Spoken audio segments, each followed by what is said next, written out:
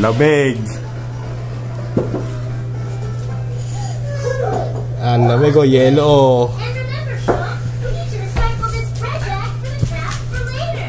Ating, nagyayelo tayo rito ah. Now that our tuna toasties are cooked, we can turn them into kites Sus, ginoo. and triangles. This is Aray ko naman, Trisha, wait lang.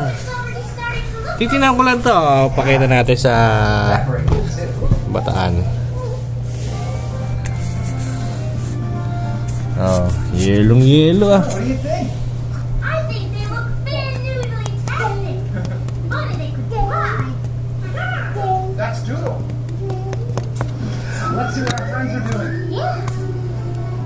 Pating. Ini basahan yan, tigas.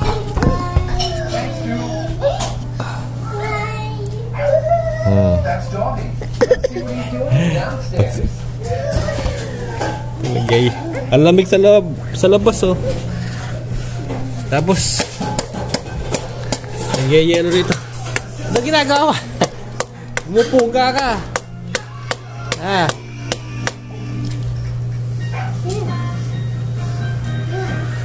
Lamig.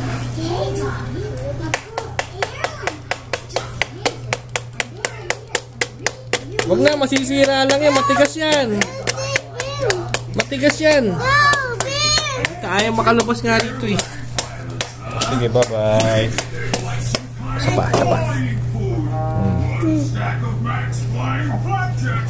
Hindi na. Ayan yung dinadaanan ng, pin ng bintana. oh.